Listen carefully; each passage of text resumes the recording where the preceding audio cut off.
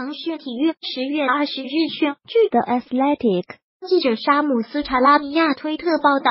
马刺队的年轻控卫的张泰穆雷于今天成功完成右膝前交叉韧带修复手术，很可能本赛季无法回归。七点三十分视频直播绿巨 vs 猛龙，欧文派状态回暖。穆雷是在十月八日与火箭队的季前赛比赛中受的伤，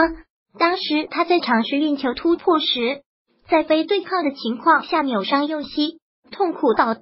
赛后的核磁共振检查结果显示，他的前交叉韧带撕裂。穆雷二零一六年首轮第二十九顺位被马刺选中，在进入联盟后的第二个赛季。开始得到格雷格波波维奇的重用，在二零一七到一八赛季，穆雷场均获得了二十一点五分钟上场时间，得到八点一分、五点七个篮板、二点九次助攻以及一点二次抢断，逐渐坐稳首发控卫位置。正是因为穆雷的飞速进步，老将托尼帕克才会在今年夏天合同到期